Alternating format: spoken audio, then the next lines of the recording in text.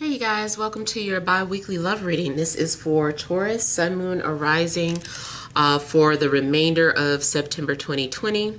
So I want to thank you guys for all your love and support. Please keep in mind these are general readings, so they may or may not resonate, but hopefully you get some clarity. Also, those of you that are wanting to book a personal or private reading, uh, be sure to check the description box below for ways to reach me. Um, all right, so we have here central issue, heart of the matter, as the King of Swords.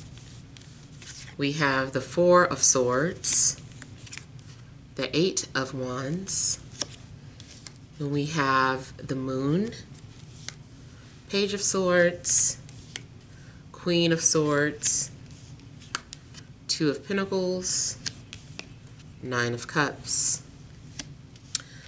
All right, so you guys definitely have a lot of air around you. So you could be dealing with an air sign, Libra, Gemini, Aquarius, um, maybe also uh, Pisces, but there's some sort of difficult decisions I feel like you're trying to make. For some of you, somebody is hot and cold, or there's something, there's an imbalance in the connection that you're having with someone. If you're completely single, I feel like there's someone that is observing you and watching you, but they're too nervous to come forward. Um, or you, as the pursuer, are too nervous to approach whoever it is that you're interested in. Um, I feel that someone's been receiving a lot of messages in their dreams.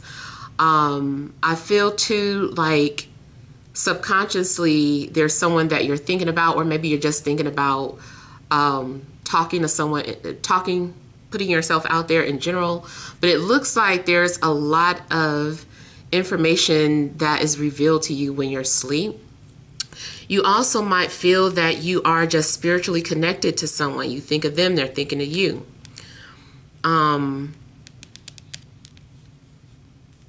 some of you, too, I feel are still holding on to some sort of messages, still holding on to some sort of messages that um, were exchanged.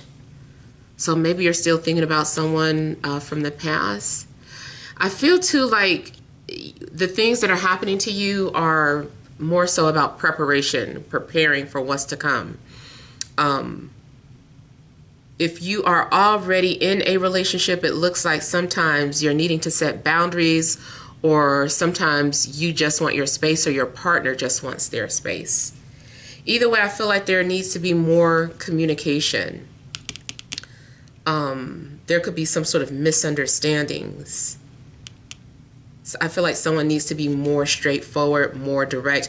Because right now, I feel like someone's thoughts are like all in their head. Like they just keep thinking about what they're gonna do, what they're gonna say. It's like, okay, this is what what I'm gonna do. Someone is like writing a story in their mind, and it's just like, okay, when are you gonna actually follow through with this story? Um, some of you, I feel like you are going to be very uh, sensitive over these next few days, something's happening where you're having to um, deal with emotions. There are still trust issues, there are still abandonment issues. You might have mommy or daddy issues, or your um, partner does, or the person coming towards you does. I feel that something's going to be triggered regardless. Um, something is going to force you to take a look in the mirror. Mm. I feel too like someone it can be cold or distant. Someone's the the things that they say might stir up old memories.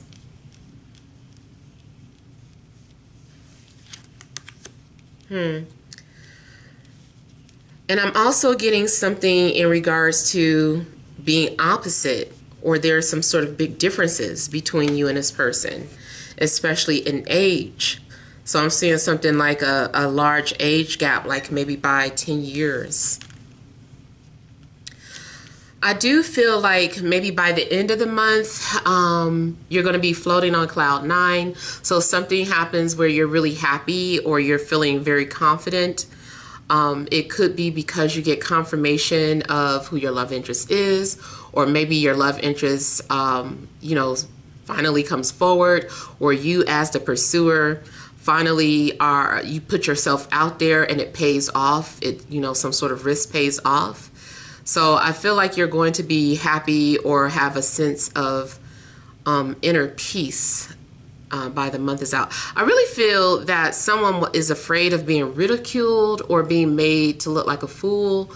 Um, it, it looks like people are all possibly in your love life some type of way. I feel like somebody's going to put themselves out there and they're like, this makes me think of Say Anything, that the 80s movie where the guy's holding a boom box up and serenading a girl. Um, and then it's followed by the Nine of Cups. So I definitely feel like this is a, if it's not a literal serenade, someone is just like expressing themselves how they feel about you. So someone might send you a song, or you might decide that you're going to send someone a song or a poem. Hmm. Somebody feels like reaching for the stars. I feel too like in order to have love, those of you that are struggling um, with that, that you're needing to be open to receive. And a lot of you might be too afraid to allow yourself to, to be just raw and vulnerable. Um, you still also could be tender. There still may be some unhealed wounds that have not been healed. I'm also getting a situation where if you are in some sort of on off again situation, um, that you guys never get a chance to heal. Like it's it's that same effect where it's like a band-aid that just keeps getting ripped off before it has a chance to to to form a new layer of skin and it's like no it just keeps getting ripped off and ripped off now i feel too like the reason why some of you are making the same mistakes over and over or getting the same type of energy sent to you is because you're learning. There's something that you haven't learned or it's just for the sake of learning. Sometimes too, like you really have to, and this is, you know, getting into metaphysical stuff, but you really got to understand that sometimes you come here for a specific lesson, but you forget that. Um, and then it's like you, you're like, I don't want to play this game anymore. I don't want to be on this earth anymore. Um, but this is what you signed up to do. Just like if you're going to college for and you're you need some sort of um, prerequisite to be a doctor, like you've got to take it. it. You can take it doesn't matter which prerequisite requisite it is, but you've got to take one of them. You know, and it's like you're not going to be able to evolve until you kind of you know get through this class and at least pass with a D. You know, so something's going on where I feel that it's it's more so life is an experience experience. Um, and this is like the the school and i know you guys have read that before you know and you know i only repeat things that i feel deeply resonates um, so i feel that you know that's what it is for some of you. Like this is your school. You know go to class you know take these lessons and learn them. And so that you can evolve. You don't have to come back to this earth realm anymore or whatever. Um, but yeah, I feel like for the most part though, there's um, someone is very nervous or feeling emotional um, in regards to their love interest. Now, if this isn't you, it could be it could be your love interest that's going through something. Uh, let's see something here. I feel like someone's also trying to attract someone through telepathy like someone someone's like call me look at me you know that um bram stoker's dracula i don't know how many dracula fans out here there are but the movie bram stoker's dracula with gary oldman and they even have a meme with it now but there's this scene where he's like see me now and then she just like she's walking down the street and all of a sudden she looks up and they catch eyes like i almost feel like somebody is like doing that like they're intentionally using their um, mental powers, their telepathy, to attract someone towards them. It could be someone specific, or maybe it's just a love interest in general.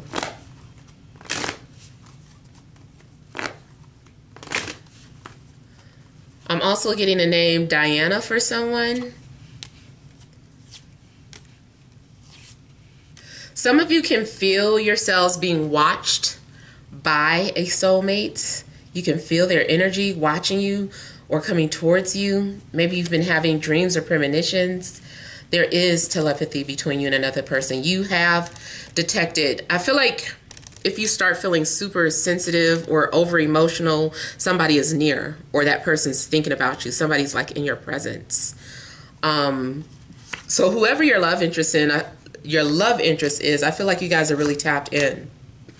Um, somebody also may have rejected you, especially if you did. Um, well, from the pursuer's perspective, if you pursued this person, you put it out there um, or maybe you're just a girl, you flirted with somebody trying to let them know, like, hey, I'm interested. I feel like somebody like shut you shut you down or rejected you. Um, and somebody lost confidence because of that. That also could have uh, brought up a lot of uh, feelings of rejection and abandonment. Um, but I feel like that needs to happen. I feel like something that happens so that you can heal, so that you can confront these feelings and just keep fighting uh, through it. Um,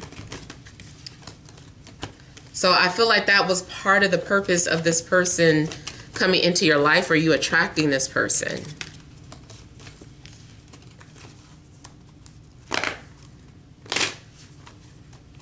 Hmm. Let me look at this uh, Two of Pentacles too.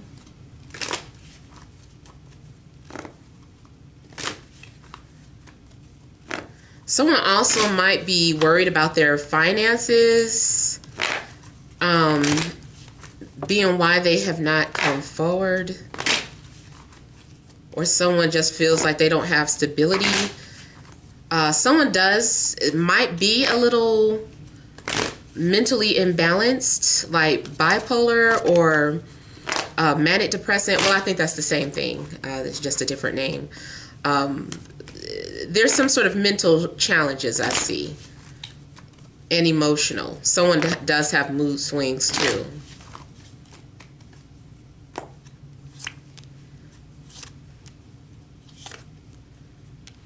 Someone is in between jobs. Um, Maybe that's the story of somebody's life. They're always in between jobs. Someone is also concerned about their their image.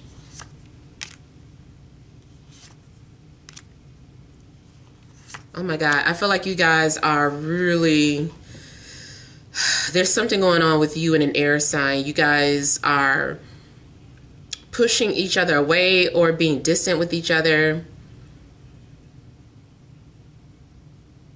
Somebody does like to be cruel. Mm. I mean, it's also possible that there's a juggling between two different people, um, or someone is, what do you call it, manipulative, like someone's mother, or yeah, like someone's mother it does have a say in who is allowed to be part of the family. And so it's just like, but I want to follow my heart. And the mother's like, no, you're going to follow the family, and we don't do that. That's not who we bring into our family. So, no, for you. And I feel like maybe for some of you, you're juggling with do I follow my heart or um, my mom? so, yeah, for some of you, I feel like that that could be an issue. So, yeah, those are the messages that I have for Taurus. Hopefully they resonate. Feel free to leave your comments. Don't forget to like, share, and subscribe. Sending you love and grace.